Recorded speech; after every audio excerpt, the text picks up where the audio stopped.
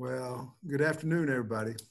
Um, first of all, um, we're saddened to, to, hear the news of Johnny Majors passing today. Uh, I have a very dear friend of mine who played for him, and uh, I know the impact that he made uh, in my friend's life, and I'm sure he made an impact on many, many people. And uh, we are certainly thinking about him, his family, and uh, all the players that he affected in his life. And so uh, we're saddened to hear about that news. Um, it's good to see y'all, and um, I'm ready to uh, answer any questions you might have. All right, All right. Kelly, Kelly, Kelly Stacy. Uh, yes, sorry. Hey, Coach, how are you? Wait just a minute, Kelly. I can't hear you. Oh, sorry. Can okay, you hear me now? I'm good. Um, with protests against racial inequality and police brutality going on around the nation, including in Fayetteville, have you addressed those issues with the team in the past week or so? And if so, what have those conversations looked like?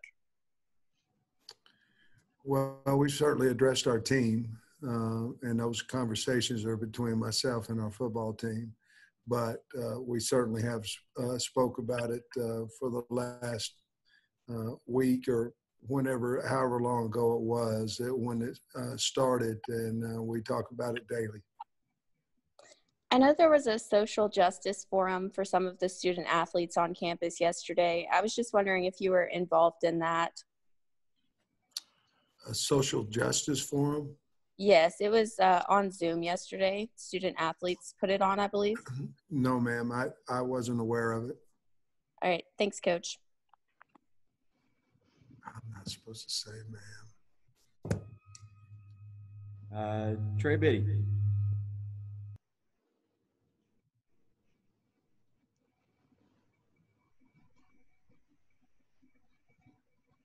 Hey, Coach. Hey, Trey.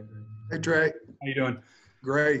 Hey, I was curious with everybody coming back and after you guys kind of getting to the groove of thing with you know going through physicals and all that stuff. What what will an average day look like during the voluntary workouts for these guys? Yeah, we, we still are able to meet eight hours a week with our kids. We're not we're not using all of that, and and uh, we're using a, a, majority of it with our freshmen. Uh, we're having separate meetings uh, basically with our young guys. We're starting from the uh, beginning with them, trying to teach them the playbook and basically trying to get to know those guys a little bit on Zoom. Uh, they also are, are involved in some virtual workouts uh, as they're not here yet.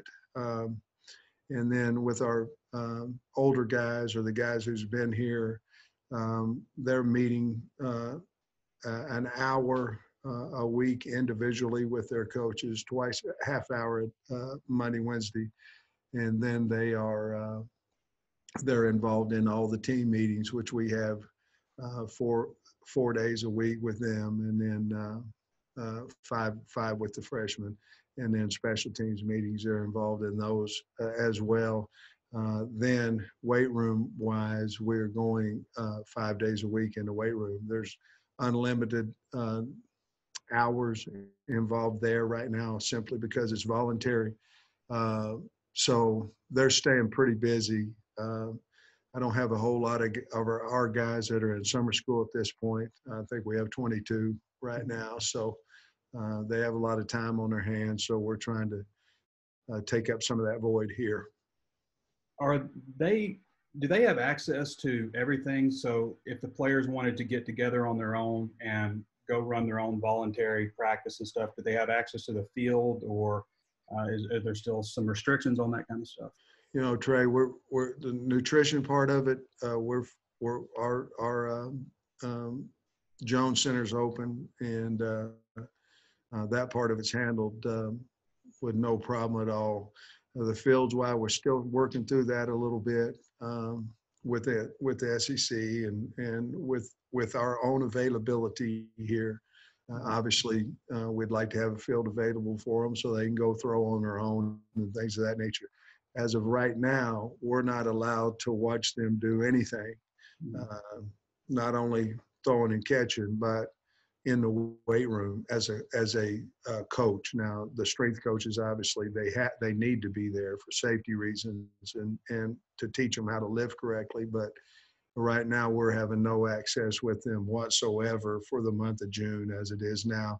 And to answer the field question, we're still working on that just a little bit. Uh, I think we'll we'll get that answer uh, within the next two or three days, and obviously we start up Monday. Thanks, Coach. Yes, sir. Tara? Tara, do you have something?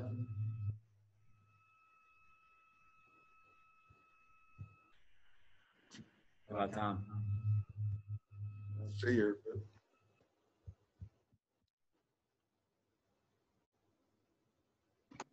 Tom, you're on mute. There we go. How's that? Can you hear me? Yeah, got you. Hey, Sam, good to talk to you.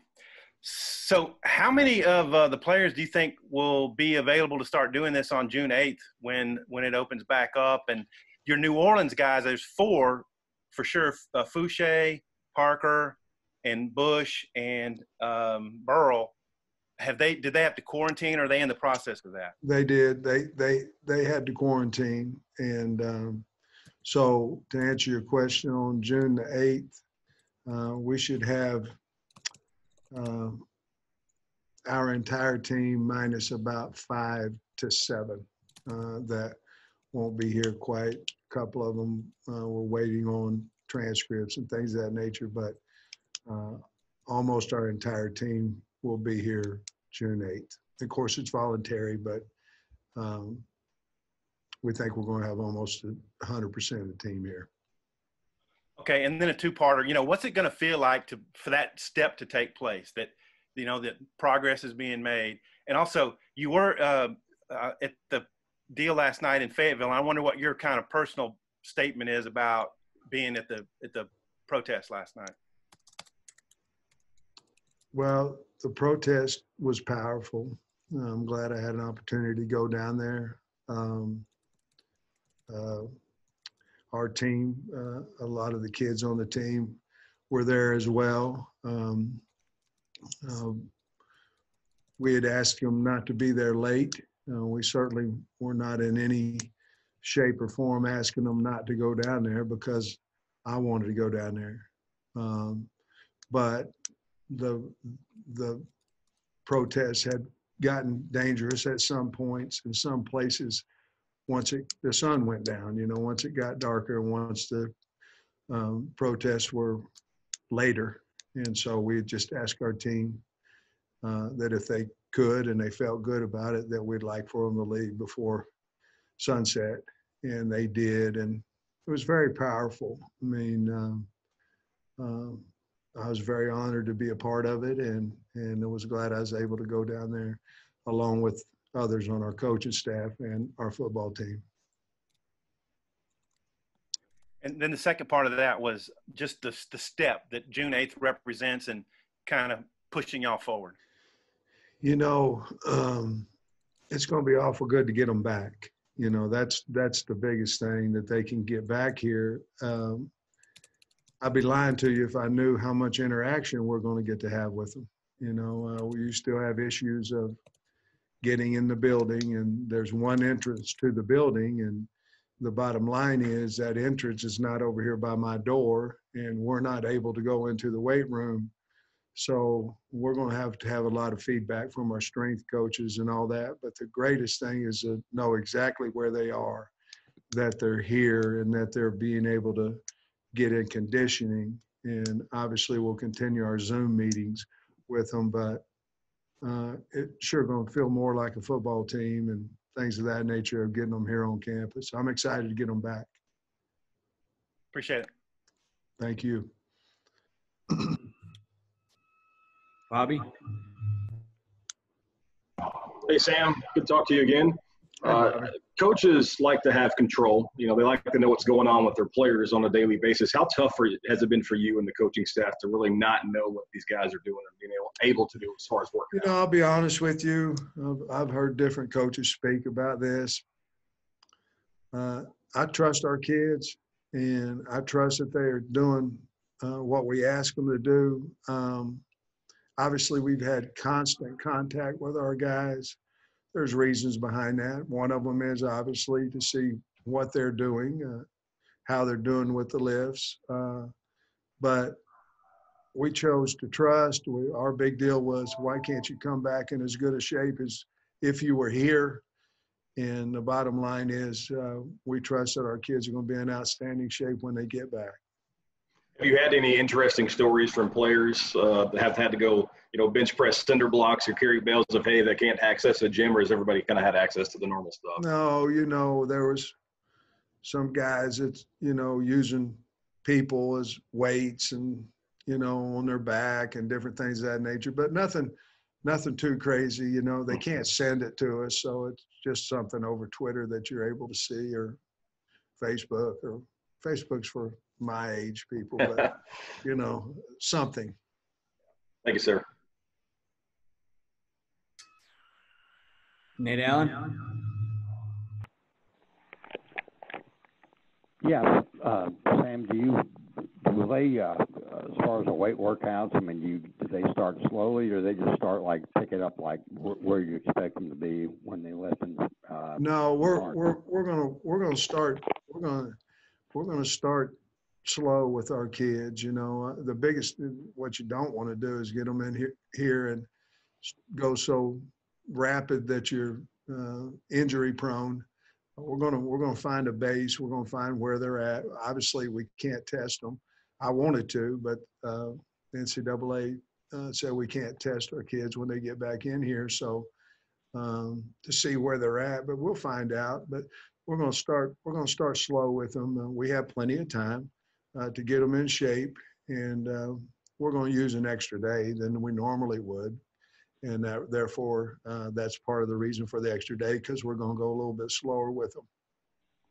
Also, if somebody does, um, you detecting that they have, uh, COVID-19, kind of how many people get quarantined? I mean, do you have to quarantine the people on the weight staff? How, how, what kind of the what ifs on that?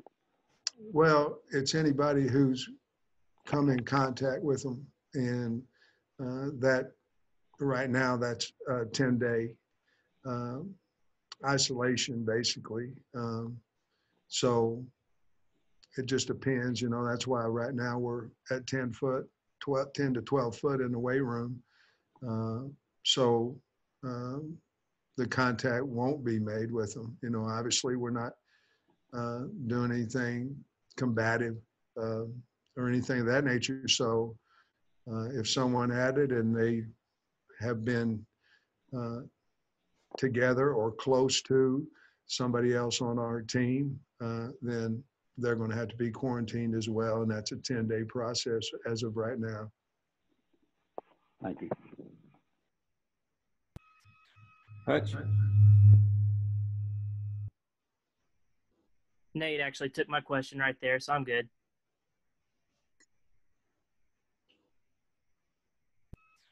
Otis? Hey, Sam, can you hear me? Hey, how you doing, guy? Good, buddy. Can you, you- okay, hey, uh, is, uh, Jerry Jacobs going to play safety or corner, or do you know yet? Uh, he, he's on our board at corner. Okay. Um, I don't know, you know, just depends on, uh, how we are there at that position and whether he's a starter. Obviously, if he's able to start, we'll leave him there. We're gonna try him at corner first. Obviously, we feel like it's a little bit easier to move a guy from corner to safety than it is safety to corner. Right. Okay. Uh, on this one, uh, Catrell Wallace, is there any update on him of his status or anything, Sam? Yeah, Cottrell Wallace will not be on our football team. Okay. And uh, from what I'm understanding, he's going to go to a junior college. Okay. Thanks. Thank you, Coach. Uh-huh.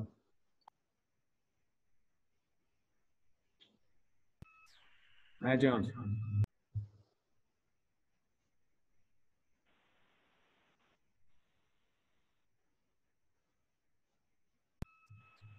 Matt, you there? Yeah, I'm here. I don't have any questions. It's good to talk to you, man. Uh, let's work back around to Tom. Okay, um, so TJ Hammonds is he back on scholarship, and do you have any other uh, news like that in terms of scholarship movement from the winter? No, the only the only thing is uh, we put TJ Hammonds on scholarship yesterday. Uh, he signed it uh, yesterday, and uh, and uh, we're happy to be able to do that.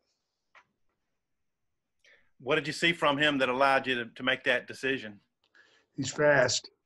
He got a lot of speed, and um, uh, you can beat people two ways as far as physically. You can beat them with speed, or you can beat them with bigness. You can beat them with large humans. And right now, a little faster for us to get fast guys than it is to get a whole team of big guys. So um, let's, you know, he's fast, but the bottom line is he did what we asked him to do uh, in school, and he did what we asked him to do in the off season, the eight week program we were here.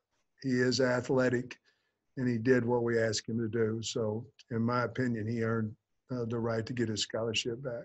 Okay, and talking to Rakeem, he said that you guys had maybe four conversations about, you know, whether to, whether to declare come back. And uh, at first, he probably was going to go the other way, but he just heard from you, and then he went back and talked to his parents and made that call. What can, to the extent you can, the discussions with Rakeem about, you know, this season. When you have those discussions with kids that are debating whether to leave or not, the number one thing is you have to find out their NFL eval. You know, you have to find out what their worth is in the in the National Football League. And we had a conversation about that. And then at that point, you kind of have you, you have to let them know how how much you'd like to have them back.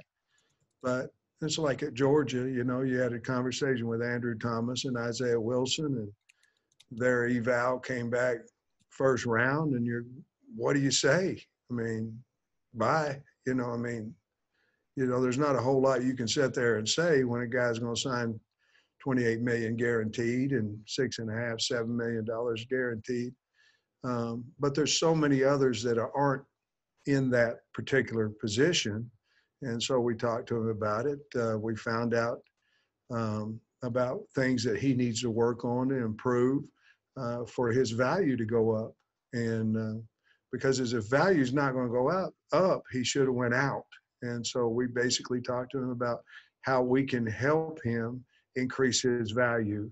Uh, and I don't ever believe that he really wanted to leave the the football program. You know, I think he was wondering what is my status at this time if I leave. And I think certainly him coming back, he had a great off season. It's going to help our football team, obviously, but I believe that we can help him as well uh, in getting upgraded in the draft. Just briefly, what kind of ways? How, how can he be a better back? Well, he has he has to continue to catch the football better. I think that's one of the things that came back on his evaluation, and and we're going to give him opportunities to um, pass protect a little bit more and become a more physical uh, pass protector. Uh, obviously, he has great running skills and those things of that nature. But those are two things that we've talked to him about that he has to improve his game to uh, certainly move up the draft board. And and to be honest with you, that is one of our jobs. One of our jobs is to get our players drafted as high as they possibly can, and we're going to go to work for it. Tara, you everything?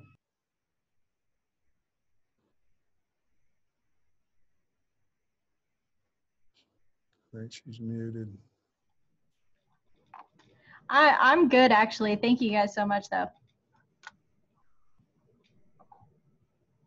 Bob, are you there? Uh, I guess it's me. Uh, Sam, also, some of the ones who have been hurt, like uh, oh, uh, Clary and Wagner and some of them, are they all now able to lift weights and do everything that, that they need to do? Yes, uh, that's when we come back. That we're, we're going to have guys rolling, and uh, so we were able to get those injuries um, handled uh, quickly as possible uh, in January, somewhere in December. And uh, so we're, we're going to be uh, healthy as we possibly can be uh, starting June 8th. And as far as, as drills other than weightlifting, just kind of what was basically just just running, or do y'all have like sprint drills or or agility drills all set up for them as well? Well, they're, they're, they're, it's, it's strength and conditioning. Uh, so that the weight room will be able to handle those. And then in those will be some agilities, in those will be long stride, you know, depending on what day we, we elect to do those. But as far as uh, ball drills and individual drills and all that, that strictly has to be up to the individual player on uh, how they participate in those drills and, and those would be on their own, uh, non-coach supervised um, at some facility. Thanks. How about Bob this time? Bobo. Hey, can you guys hear me? Hello? Yes. hmm Yes, I can hear you, Bob. Hey, Sam. I- I'm uh, Matt Jones, Patrick there on his phone. I'm kind of embarrassed to say I'm less uh, technologically, I'm more technologically challenged than Nate, which is pretty embarrassing. No, no offense, Nate. But um, hey, I, I know a lot of coaches around the country have tweeted things about the protests. I don't know how many of them gone to protests. Maybe maybe a lot have. But um, what was it about the situation made you feel like it was important for you to be there? And Was your whole staff there, or how many of you guys were there? Well, I didn't, I didn't count the staff. I, I asked them if they wanted to go down there. I was going and, and uh, so I, I can't answer that. Um, what made me go, I think you asked, because I felt like I needed to go. I felt like in my heart I wanted to go. Um, I wanted to support our football team. I wanted to support um, the protest, and that's what I believe in. You know, I, I think you can tweet about stuff. You can you can do a lot of things. You can take a picture for somebody to show. You can do whatever you want, but actions are strong, and um, I felt like for me, the best way for me to address the situation was to go be a part of what could be a solution. So no other reason. I didn't go down there. If someone take my picture, I didn't go down there. I got, went down there because I want to support the players on our football team and their families. Had you ever been to a protest before, and, and what do you think you got? What was it like? I mean, what what did you get out of it? It was awesome. Uh, number one, uh, uh, the people there were incredible. Um, and I don't know, I got a feeling of um, that I was proud I went. I don't know how to explain it. I felt the same way coming in this morning to work. Um, I went by uh, the square this morning and it was such a great situation. I mean, you wouldn't even know there was anybody down there. And, uh, you know, so people of Fayetteville did a wonderful job with the, with the protest. And I don't know what else to say about it. Yeah, if I, if I could slip in a couple more since I, I got stifled earlier. Um, Hunter said last week, you know, you're seeing a lot of schools, even a lot of big schools, uh, staff are taking pay cuts, furloughs. Hunter said that nobody's doing that in Arkansas on you know the academic side or the athletic side yet. Um, how happy are you about that? That nobody's at least for now having to take pay cuts or furloughs. Well, I mean, I can't say I'm sad about not taking a pay cut. I mean, it'd be like you. I mean, if you had your choice to take a pay cut or not, I'm sure you wouldn't. But here's here. Well, you'll have to answer that one. But I the bottom line is, the bottom line is, is that we will do whatever we need to do to have success at Arkansas and keep all programs alive. And if we need to take a pay cut, we'll, we'll take a pay cut. I mean, it is what it is. The circumstances have changed and we got to roll with it, whatever it may be. That's what we have to do. But every program at the University of Arkansas is important. So if it takes a salary, uh, part of a salary to keep another program uh, alive, then that's what we'll do. And then just one last one. Who was your friend who played for Johnny Majors?